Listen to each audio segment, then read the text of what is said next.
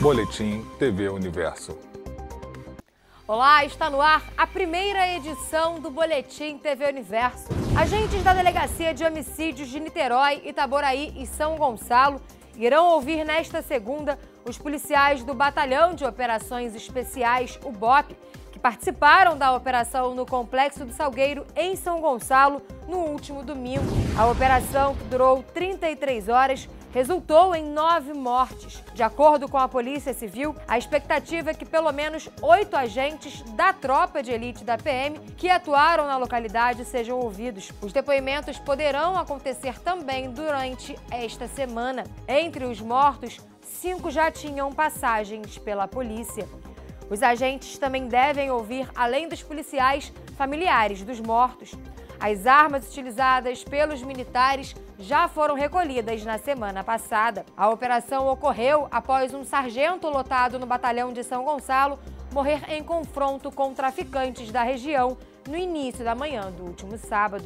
E a Prefeitura de Maricá realiza, desde esta segunda até a sexta-feira, a vacinação itinerante contra a Covid-19 no bairro de Itaipuaçu.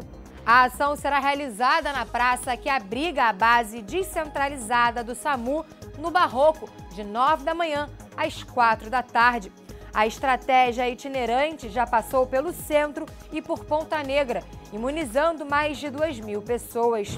Mais de 115 mil pessoas acima de 12 anos, cerca de 81,2% da população estão com as duas doses ou a dose única aplicada. Já com a primeira dose, são 126,7 mil pessoas, ou seja, 89,2%. Maricá disponibiliza a segunda dose, a dose de reforço, para pessoas com 18 anos ou mais que tenham completado o ciclo vacinal há cinco meses, além da repescagem com a primeira dose para todos acima de 12 anos. A Prefeitura ainda irá abrir mais um polo fixo de vacinação na Unidade de Saúde da Família de Ponta Negra. E chegamos ao fim da primeira edição do Boletim TV Universo.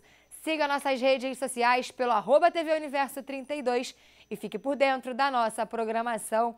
Até a próxima edição.